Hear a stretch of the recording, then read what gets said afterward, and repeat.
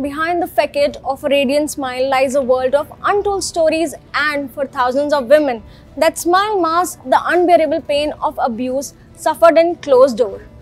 The stark reality is that domestic violence remains a pervasive yet shrouded issue, with many victims trapped in silence.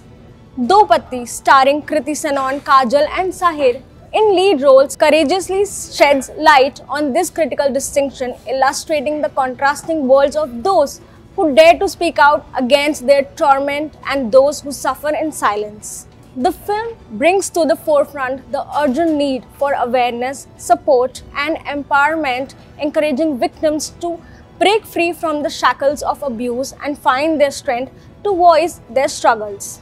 In the film, Kriti Sanon dominates the whole movie with her exceptional acting prowess. She manages to portray both twin characters, Soumya and Shally, with utmost grace.